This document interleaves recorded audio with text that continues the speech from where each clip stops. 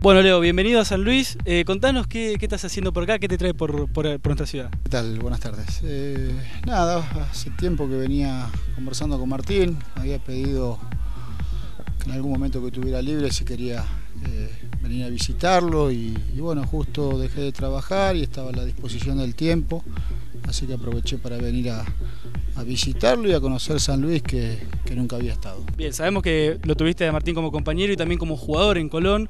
Eh, ¿Sabés el trabajo que está haciendo él acá? ¿Tenés conocimiento de eso? Sí, sí, porque conversamos seguido. Eh, no estemos viendo muy seguido por, el trabajo de él o porque yo estaba trabajando. Eh, sé que está coordinando, que está haciendo un buen trabajo, ya inició el año pasado y estuvieron ahí instancias finales de, poder ascender y, es un proyecto muy lindo en el cual sé que está el apoyo dirigencial y él se siente muy a gusto, creo que eso es importante. Bueno, hace unas semanas te tocó salir del Banco de Argentinos Juniors. ¿Qué análisis haces de tu paso por el equipo de la Paternal? Un análisis positivo, creo que tuvimos un buen comienzo de, torneo, como fue el torneo pasado, en el cual se hizo una, buena sumatoria de puntos.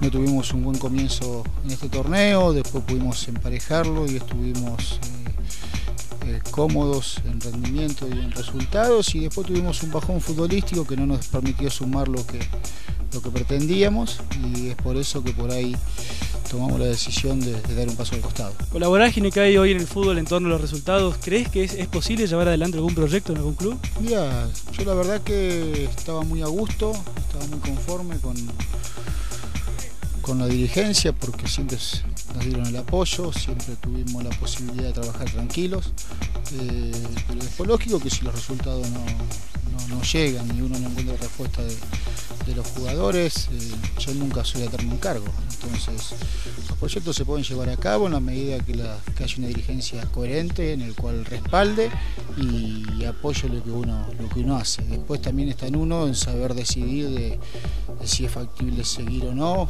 eh, en base a esos resultados. Sos uno de los jugadores más ganadores en la historia de River, por eso no podemos dejar de, preguntarte por, por, el momento de River, cómo lo vivís, más allá de que hoy no estés en, el club. River eh, tiene un torneo parejo, eh, tuvo momentos buenos, momentos malos.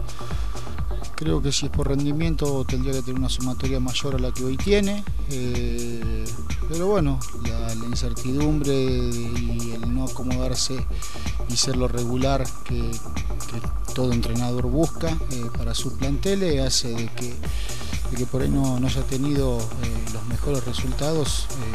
pero uno sabe perfectamente de que Matías tiene la capacidad como para poder sacarlo adelante y tener la sumatoria que verdaderamente pretende para poder reforzarse y poder pelear el campeonato que viene. ¿Qué sensaciones te generó tu último paso por River? Por ahí no fue una salida muy clara porque en principio se te iba a respetar el contrato, te tocó salir antes de tiempo. Ya pasó, es algo que quedó en el olvido. Eh, yo sé perfectamente de que en el comienzo, cuando José en aquel momento nos fue a buscar, eh, sabíamos que era un momento difícil, nosotros le dimos la espalda. En ese momento tuve una posibilidad de conseguir buenos resultados. Después, eh, revisada la pretemporada, eh, los resultados no fueron los mejores y bueno, se terminó un ciclo en el cual cuando los resultados no están, es lo que te decía anteriormente, es muy difícil de una continuación de trabajo. Por ahí no gustó la forma, pero bueno, ya, quedó en el pasado. Por último, ¿las puertas para volver a River eh, seguramente estarán abiertas o es algo que por ahora no te lo representas? No, uno lo que piensa en el momento que está libre es en ver qué cosas hicieron bien, qué cosas hicieron mal para poder mejorar, eh, estar abierto a cuando aparezca alguna oferta poder analizarla, ver si es conveniente o no eh, el hecho de comenzar a trabajar nuevamente pero no es que uno está pensando tengo que volver a este lugar o se tiene que quedar dentro de un año o dos años.